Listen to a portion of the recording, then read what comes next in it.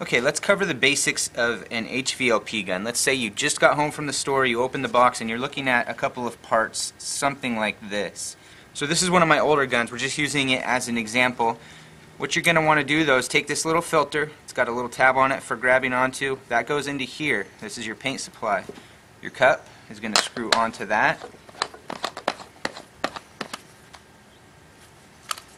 And you might have a regulator like this. Now I have a dedicated air system for spraying that has been regulated down. It runs at about 40 psi. A lot of these HVLP guns will specify the max pressure that you can have to the back of the gun. That's what this is for. If your typical air compressor is set to let's say 120 125 psi this is going to take 125 psi on the supply end and reduce it down to 40 psi by adjusting this. I don't use those. I like to keep my gun a little bit more compact and light, so I have the entire system regulated down to 40 psi. Okay, let's start at the bottom and work our way up. So your regulator will be screwed on here. You're going to need a quick connect that's compatible with your air system. The first knob that you're going to see is this little one down here. That's for fine tuning your airflow. Screwed all the way in, there will be no airflow through this gun adjustment and setting of this valve here is going to have a big impact on the way that your pattern looks on this end. You'll want to start with that completely closed. Okay, moving up the body of the gun, you've got your fan control here. This is what's going to make your fan get bigger and smaller out here. You're going to want to start with that one and a half turns open. And then directly behind that, we've got our fluid feed here.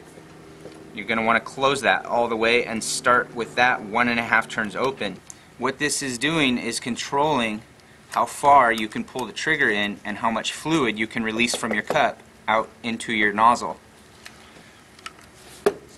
Now speaking of the nozzle, there's different tips that you're going to want to use for different types of paint. This is a good general purpose tip at 1.4. These tips you can spray with them horizontal, which is going to give you a vertical fan, or you can rotate them 90 degrees, and that's going to give you a horizontal fan, depending on how you're most comfortable spraying and how you can best utilize your material. Now moving up the cup of the gun, you've got your lid here. You can see your filter in there. But on top of this lid, very important, is a small hole and that's going to allow air to replace the material as the material is used so that you do not create a vacuum.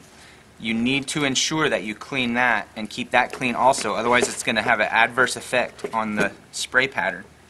Okay, you've got your HVLP gun, it's all assembled now. Before we spray material, let's put a little bit of acetone in here and we'll try to spray this. What this is going to do is clean out any of the shipping oil and it's going to make sure that all of our parts are in working order. Okay, let's cover our gun adjustments. Now we've got fluid in the cup and we've got our air valve all the way closed down.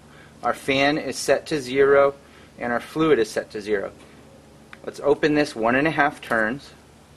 One and a half. That's always a good point of reference. One and a half turns. Now this air valve on the bottom that we talked about is really going to have an effect on the atomization of the paint. You do not want your paint to be drying in the air before it hits your substrate. You also don't want it to be under atomized to where it's not laying out very nice. So let's open that up about midway. Okay, our fan control all the way down is going to give us a nice circle. That's good for doing detail work, but it's not going to be very nice for doing a large substrate. So we're going to open that up slightly. Good point of reference, I mentioned this in my last video, a pinky to thumb width away from your substrate. You want to be about a pinky to thumb width tall.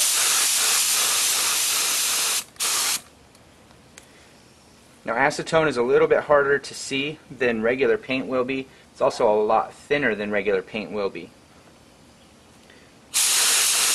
But we can roughly see that spray pattern there. And so we're set right in the neighborhood of where we want to be.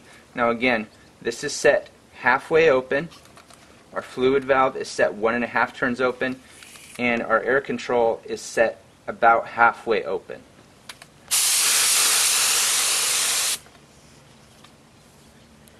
That's a good starting point for actual paint. Off the shelf reducer, hardener, Japan dryer. Now you absolutely want to filter this before you pour it into your gun.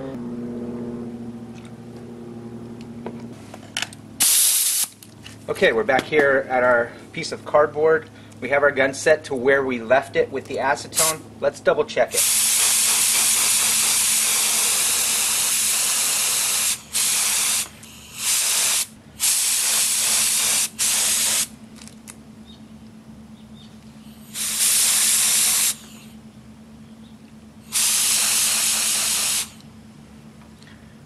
That's actually not looking too bad.